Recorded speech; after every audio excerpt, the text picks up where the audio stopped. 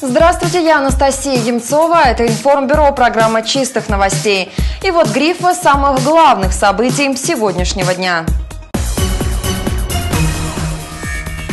Гриф «Спор», корова и два теленка стали причиной большого конфликта между двумя семьями в селе Преградном. В чем дело, пыталась выяснить Анастасия Самойлова.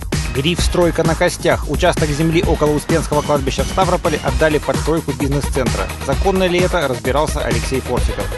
Гриф «Нежданные гости». Профилактическая операция «Семья» стартовала сегодня в Михайловске. Инспекторы по делам несовершеннолетних Шпаковского района наведались в гости к трудным семьям. На проверке побывала Вероника Гринченко. Гриф «Спартакиада». Силовики продолжают состязаться. На этой неделе судебные приставы из КФО проводят отборочные соревнования. Подробности в сюжете Валентины Чернощековой. Гриф «Гроза». Завтра пройдет не только дождь, но и гром прогремит. Подробнее в конце программы. Житель села Юца, что в предгорном районе обвиняется в совершении насильственных действий сексуального характера. Надругался мужчина над дочкой своей сожительницы, уверены следователи. Девочка страдает детским церебральным параличом. На момент совершения преступления ей было 8 лет. Пожаловаться на отчима ребенок долго не решался. Только через год она рассказала все бабушке. Со слов девочки, мужчина не раз позволял себе такое. На данный момент подозреваемый признался только в одном преступлении. В настоящее время подозреваемому избрана мера пресечения в виде заключения под стражу. Э, следствием проверяется причастность подозреваемого к иным преступлениям против половой неприкосновенности несовершеннолетних. Расследование уголовного дела продолжается. Гриф «Спор» в селе Преградная крепкая дружба двух семей превратилась в кровную месть. Из-за коровы животное забрело на чужую территорию, случилась потасовка бывших друзей. Уже потом взаимные обвинения и многочисленные суды. Теперь злейшие враги обходят друг друга стороной. Подробности истории отправилась выяснять Анастасия Самойлова. Дело происходило в сентябре прошлого года. Стадо коров, как обычно, паслось на своей территории, когда одна из них вместе с двумя телятами забрела на чужое поле. Тут-то все и началось. Глунев схватил меня за левой рукой за горло, а правой рукой за руку начал душить меня. В это время начал угрожать мне, что я тебя, тебя убью, сейчас постреляю твоих коров, потом убью всю твою семью. Александр Харченко вспоминает события практически годичной давности. Стадо паслось где следует. Только одно животное с двумя телятами заблудилось. Хозяин поля, куда забрела корова, Алексей Лунев, был вне себя от гнева. Громко кричал, угрожал, размахивал руками, рассказывает Александр, и даже полез в драку. А все из-за того, говорит фермер, что корова чуть-чуть потоптала стерню всех животноводов нужно душить, ну, убивать, типа вы топчете земли, луга, поля. Нам, людям, ну, которые занимаются ну, выращиванием сельскохозяйственных культур, нам житья не даете. С Алексеем Луневым их семья всегда была в приятельских отношениях. И в армию провожали, и на свадьбе все вместе гуляли. Потом семья Харченко занялась скотоводством, а Лунев заинтересовался сельхозугодиями. До коровьего конфликта семьи друг в друге души не чаяли. А потом начались взаимные обвинения, суды и угрозы. Как только семья Харченко обратилась в милицию с жалобой о том, что Александра чуть не задушил разъяренный Лунев, в отделении тут же появилось заявление самого Лунева. Мол, его Харченко чуть не пристрелил из охотничьего ружья. Суд встал на сторону Алексея Лунева. Лунева. Хотя семья Харченко уверена, все свидетели куплены. К тому же бывший друг Лунев не останавливается, говорят фермеры, а продолжает портить их мирную сельскую жизнь. Нам угрожал тем, что ну, избавится от нашего хозяйства или постреляет его, или, ну, в общем, как-нибудь его переведет. Вот в этом году у нас за месяц 5 телят сдохло. Когда мы вызвали ветеринарную службу, приехали ветврачи, установили факт того, что у телят э, дизентерия началась. От чего, почему, в общем, никто этот факт не установил. На скрытие мы, естественно, не возили. Но так как Лунев постоянно проезжает у нас за кошара, а пастбища у нас находятся, естественно, из-за территории нашего, нашей кошары, здесь мы взяли эту землю в аренду, я считаю то, что он мог действительно что-нибудь что-нибудь насыпать там на траву. Теперь Алексей Лунев обвинил бывших товарищей в поджоге своих полей и вновь обратился в суд. Харченко не находит себе места. Показывают кипы бумаг, направленные в разные инстанции. Они больше чем уверены, здесь все решают деньги, которых у них нет, а у Лунева куры не клюют. Наша съемочная группа попыталась встретиться с Алексеем Луневым и выслушать его точку зрения. Пришли к нему домой. Дверь так никто и не открыл, зато телефонную трубку взял практически с первого раза. Я считаю, все началось из-за их гадостей с коровами. Они уже тут мне такое устраивали. Вот. А Рейдерский захват Шуняю Николаю Ивановичу администрация предлагали, чтобы он меня выгнал с территории. У них бизнес вниз идет там. Это все началось за их коров. М, То есть они во всем виноваты, да? Я не хочу никого обвинять. Я просто говорю, вы спрашиваете в чем, я вам отвечаю. Я никого не обвиняю. Все началось их коров. С вами встретиться, поговорить на эту тему можно? Я на Александров. А когда будете? Я не знаю. Я человека жду с Новороссийска.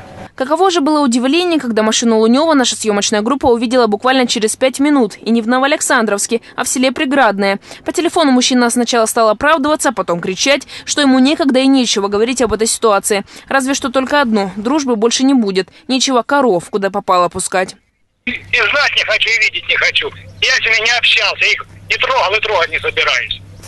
Между тем Лунев и Харченко точно встретятся еще раз в суде, где будет рассматриваться дело о поджоге поля, которое принадлежит Алексею Луневу. Анастасия Самойлова, Юрий Корниенко, Информбюро, село Преградное. Гриф «Стройка на костях». Общественники из протестного комитета уверены, если возле Успенского кладбища Ставрополя продолжат стройку, городу грозит эпидемия сибирской язвы. Так ли это на самом деле и законно ли строительство, выяснял Алексей Форсиков. Это прямое нарушение федеральных санитарных нормативов, на которые у нас пошел, пошел и Роспотребнадзор, выдав заключение санитарно-эпидемиологическое, и наша э, власть в лице директора комитета градостроительства и главы города Ставрополя.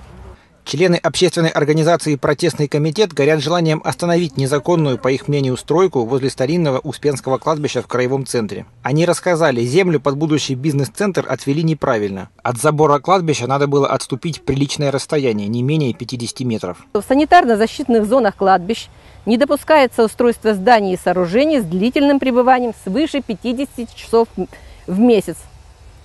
То есть мы считаем, что строительство этого здания значит, э, нарушит права граждан, которые будут в этом здании работать, поскольку э, длительное пребывание не допускается, негативно будет влиять. Еще они уверены, кроме того, что стройку начали не там, она может затронуть захоронение людей, умерших от сибирской язвы. Они обращались и в Роспотребнадзор, и в противочумный институт. Всюду им говорили, что беспокоиться не о чем. Мы обращались, но мы обращались туда с запросом, чтобы они дали нам информацию, была ли эпидемия сибирской язвы в Ставрополе и где были захоронены. Вот. э, Но нам сказали, что у них такой информации нет. На плане города вековой давности хорошо видно, кладбище было больше, чем сейчас, почти до железной дороги. Город рос, захоронения переносили, территория кладбища уменьшалась. Самые поздние могилы 40-х годов прошлого века. Так что там, где теперь стройплощадка, могил точно быть не может. По поводу сибирской язвы, случаев захоронений больных людей там не было с позапрошлого века. В этом уверен один из авторов научной работы о состоянии и сохранении старых городских кладбищ. Э, С 1868 года как минимум там не было таких захоронений. Впрочем, это э, точно сказать никто не может, и дело даже не в том, что были там такие захоронения или нет, были ли там захоронения больных холерой или чумой, тоже практически не имеет значения. Что же касается разрешения на строительство, то и здесь сомнений быть не может. Комитет градостроительства выдал разрешение на основании заключения Роспотребнадзора. Да и сами санитарные зоны могут быть уменьшены после необходимых проверок. Прежде чем предоставить земельный участок и получить это заключение, э, санитарно-эпидемиологическое заключение, э, Роспотребнадзор проводит различные изыскания на данном земельном участке, на запрашиваемом земельном участке.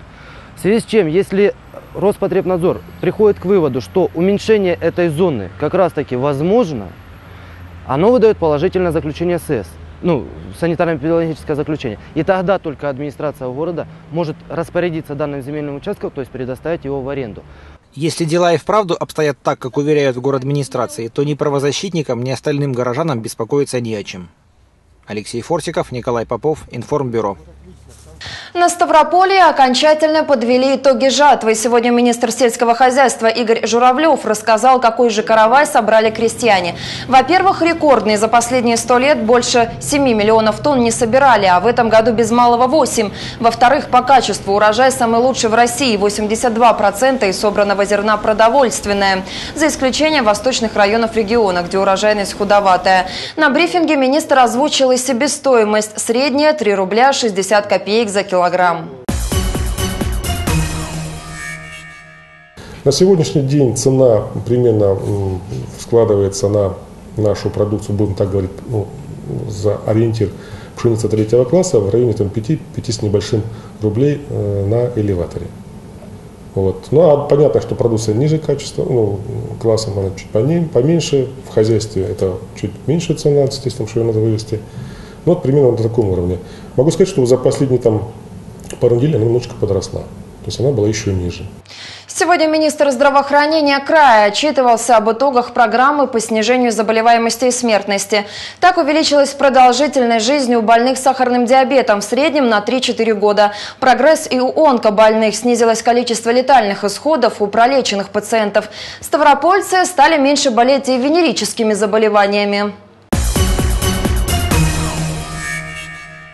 Снизилось число обострений и развития необратимых последствий у больных, страдающих заболеваниями, передаваемых половым путем, улучшились основные показатели заболеваемости взрослого населения сифилисом.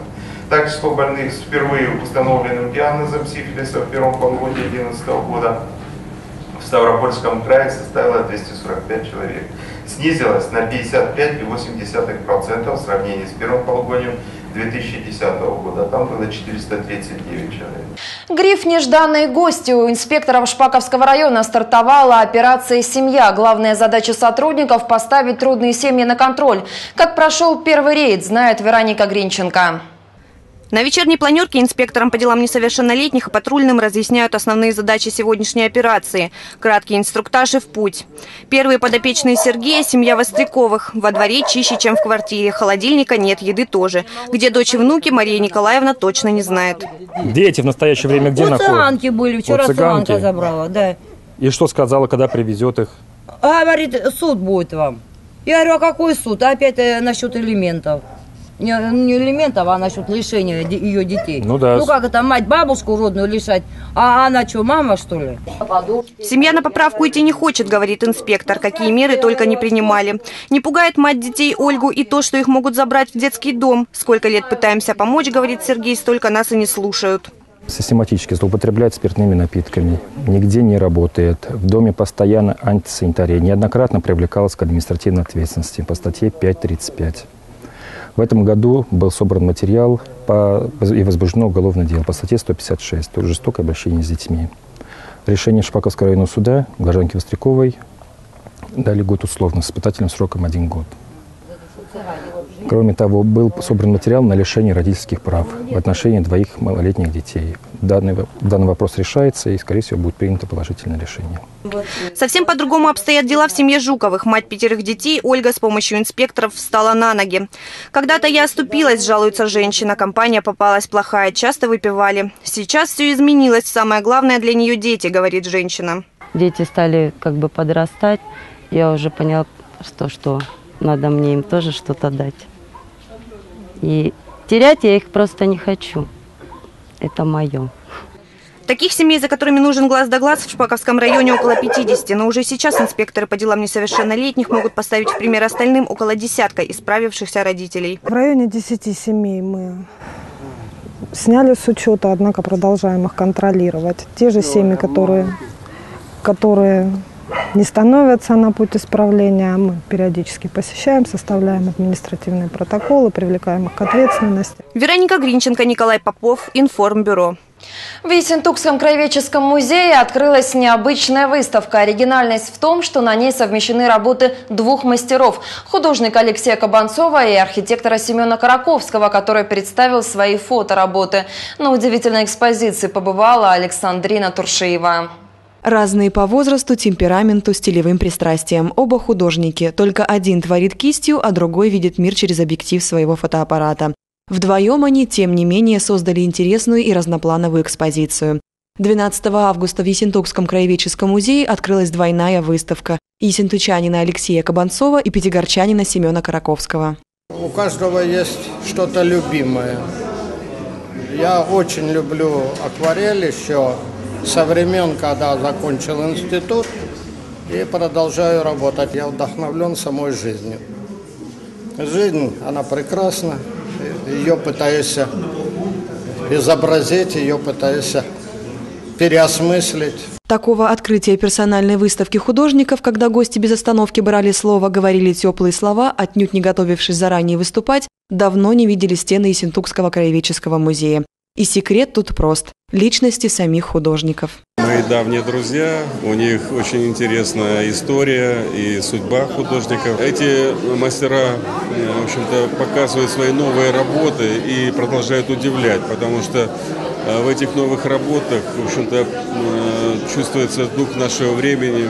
Взаимоотношения человека и природы – одна из основных тем Алексея Кабанцова. Творческая интерпретация автором окружающей природы Кавказа, где он провел всю жизнь. Работы выполнены в разных авторских техниках. Это станковая живопись, акварель по сырому полотну, техника сжатой бумаги. Я пытаюсь одно единственное – отобразить тот мир, который э, живет э, в моей душе, в момент столкновения с реальной действительностью, еще прекрасная в форме, цвете, гармония композиционная, гармония цветовая – Философские акварели Кабанцова дополняют фотоработы Семена Караковского, которые создают единое целое. Этой целостности подчинена и развеска фотографий.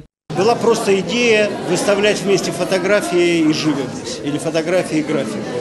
Выставка Кабанцова, ну она как, как бы в рифму, что ли, вызвала вот такие работы. Может быть, немножко отвлеченные, не очень конкретные, мне это, мне это близко. Сила фотографии велика и безгранична. От первых черно-белых изображений светописи до современных цифровых фотографий. Искусство с каждым годом открывает новые виды и возможности передать то, что порой недоступно человеческому взгляду. Фотография – это искусство выбора. Сначала ты выбираешь, что фотографировать. Потом ты выбираешь, что оставить из сфотографированного. Потом ты выбираешь, что выставить из оставленного. Да? И насколько это соответствует моменту. Психологи отмечают, если позитивными картинами художников украсить свой дом, то в нем появится ощущение комфорта и уюта. Художественные полотна создают атмосферу душевной гармонии, благоприятную психологическую обстановку и положительную энергетическую ауру. Аэропорт минеральных вод подтверждает статус международного. Совсем скоро отсюда будут организованы рейсы в Европу и на Ближний Восток. Все подробности у нашей бизнес-ведущей Татьяны Федоровой. Действительно, в настоящее время ведутся переговоры с рядом российских и иностранных авиакомпаний об организации международных рейсов. В ближайших планах страны Европы и Ближнего Востока. Об этом сообщил Георгий Ефремов, зампредседателя Краевого правительства. Также он подчеркнул, что с открытием на Ставрополе итальянского консульства рейсы в Италию будут востребованы уже этой осенью. К новостям компании. Группа агропредприятий «Ресурс», один из крупнейших производителей мяса птиц на юге России, купила ставропольский бройлер. Теперь в двухлетнем плане дочки увеличить производительность до 240 тысяч тонн. Это почти в два раза больше нынешних показателей. Стоит отметить, что за последнее время Ставропольский бройлер активно наращивал производственные мощности. Это и племенное хозяйство, инкубаторий, комбикормовый завод и мясоперерабатывающие комбинаты. Сделали покупку и обнаружили, что сумма в чеке по непонятным причинам отличается от указанной на ценнике. Отправьте сообщение о недобросовестном продавце в налоговую. Для этого в зданиях районных инспекций Краевого центра установлены специальные ящики. В них каждый желающий может опустить товарный чек, квитанцию или бланк строгой отчетности. Эта информация поможет выявить налогоплательщиков, не представляющих отчетность, а также факты несанкционированного вмешательства в работу контрольно-кассовой техники. С недавнего времени у Ставропольского бизнес-инкубатора новая управляющая компания «Шефство». Над резидентами взяла торгово-промышленная палата края. Цель уникального проекта Министерства экономического развития – поддержка и развитие субъектов малого бизнеса. И, конечно, помощь в открытии собственного дела. Об условиях, в которых выращивают малый бизнес – наш следующий сюжет. Ангелина стала резидентом бизнес-инкубатора полгода назад. Ее фирма занимается подбором кадров для местных работодателей. В штате 6 человек. Ну, конечно, это огромная помощь малому бизнесу потому что арендную плату мы платим намного меньше. Первый год это вообще очень помогает, 40% от всей общей стоимости. Также нам дается интернет. А, ну и люди, которые, а, управляющая компания наша, она нам очень помогает все настройки техники и так далее, и на все-все-все наши просьбы есть очень быстрый отклик. На сегодняшний день в бизнес-инкубаторе развернули свою деятельность 9 резидентов.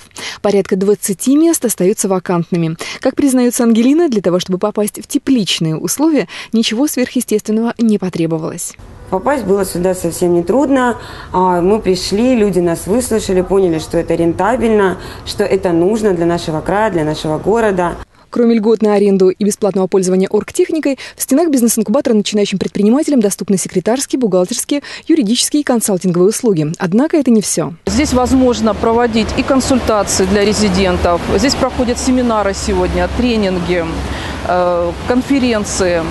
То есть сегодня очень хороший, широкий такой спектр, который может получить э, начинающий бизнесмен именно в условиях бизнес-инкубатора. Торгово-промышленная палата края продолжает прием заявок на участие в конкурсном отборе резидентов бизнес-инкубатора. Вы тоже можете поучаствовать в конкурсе. Прием заявок на участие и дополнительную информацию можно получить по телефону в Ставрополе 334 900.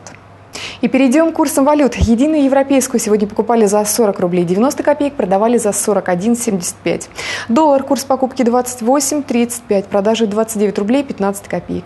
И вот как выглядит курс валют, опубликованный Центробанком на завтра. Евро 41,31, доллар 28 рублей 72 копейки. Это были все бизнес-новости на сегодня. Как всегда, желаю вам удачного вечера.